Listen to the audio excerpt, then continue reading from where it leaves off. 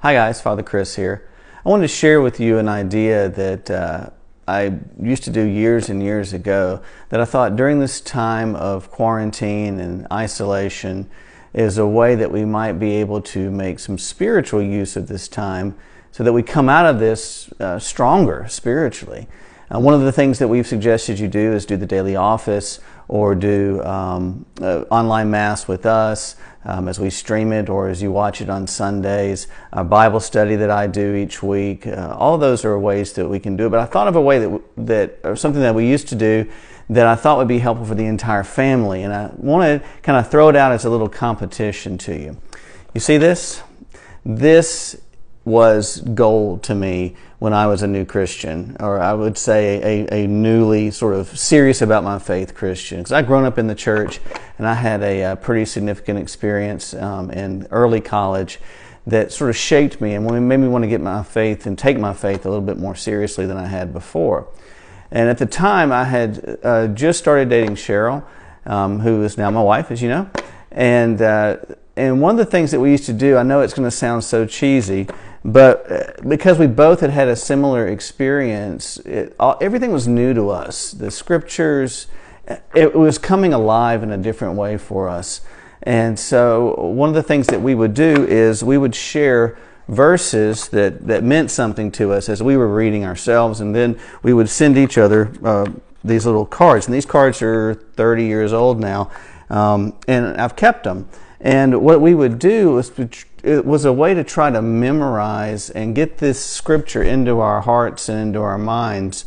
Um, and one of the ways we did that is we just would write them down on a card, and uh, we would put that card um, on our mirror, um, on our dashboard of our car, sort of on the not on the speedometer side. There's no excuse for speeding because you couldn't see it because of the Bible verse, but like on the tach side or, or somewhere convenient where we would see it regularly. And uh, so, for instance, this one, this is Cheryl's handwriting. Um, it's Proverbs 3, 5, and 6. Trust in the Lord completely. Don't ever trust yourself. In everything you do, put God first, and He will direct you and crown your efforts with success. Proverbs 3, 5, and 6. Sounds like the New Living Translation. And uh, here's one that I did. Um, again, it's kind of getting old, um, like me.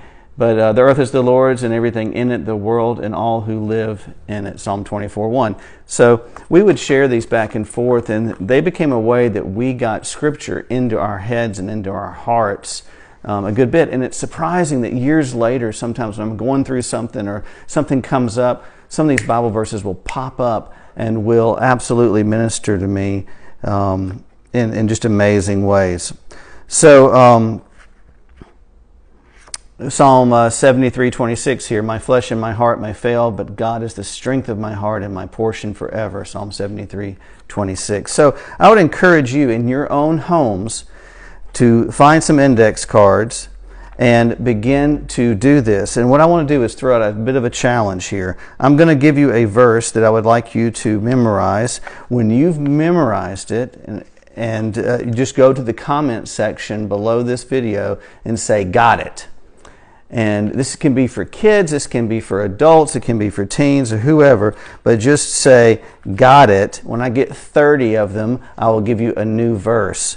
So um, I'm trying to find the verse that I want to give you now because I'd put it back in the box.